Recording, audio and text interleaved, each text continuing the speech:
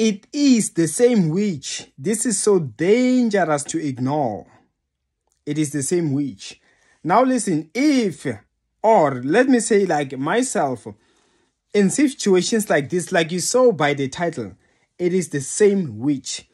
Let me tell you, as much as now we're in the New Testament, I know some you're not comfortable speaking or fighting against these witches and all, but let me assure you one thing. Yes, indeed, the Bible did say in the Old Testament that suffer not the witch to live. As much as some people say, the Bible did say that we must pray for our enemies, right? Now, let's look at it like this. How this is how I look at it. There are some there's a reason why the Bible back in the Old Testament could not allow us to or allow the a witch to live. They never truly repented. They, that that sin of witchcraft it was even described when uh, Saul was rebellious. That the rebellion is the same as the sin of witchcraft.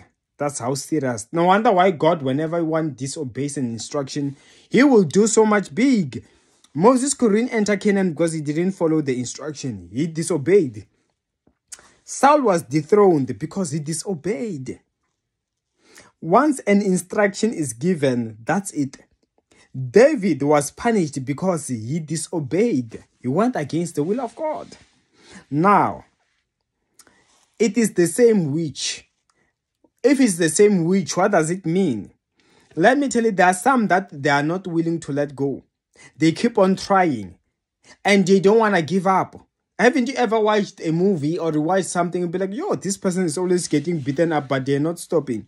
That's how some behave. Instead of learning from a uh, learning a lesson and they stop and they back off, some they are not willing to back off until I do win. Hence, that's why some they eventually succeed because you are letting them go and they are not willing to let go. They are not willing to ever repent. Therefore, we are addressing them. Any witch that continuously tries you, let them be arrested and put down for good this time around. Any witch, any person, anything that is of the kingdom of darkness that is coming against you continuously, we pray, may finally God put them down in the name of Jesus Christ. Amen. And of course, that's all I had. My details on the comment section below. See you next time.